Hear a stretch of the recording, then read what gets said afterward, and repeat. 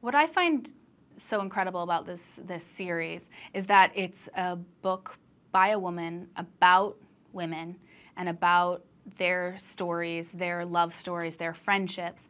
And, and so now it's become a film about that as well, which I, I find incredible and, and really terrific. I think it's time for there to be far more movies that are about the from told from the female point of view, which this film is. You're, you know, Dakota's in every single shot pretty much. It's her story, um, and and I love that about this. I love that it's a story about a young woman's journey and, and it's not told from a male point of view it's not told from a male gaze it's told from from her point of view Kate and Elliot, uh, their love story is continuing. They're falling more and more in love.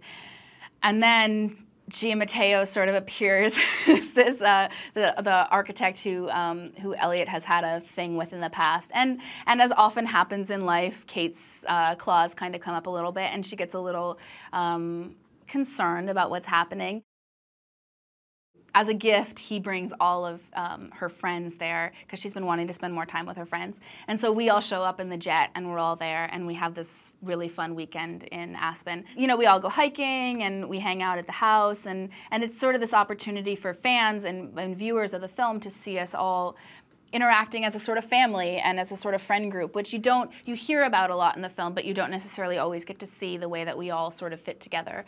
Um, so that was really fun.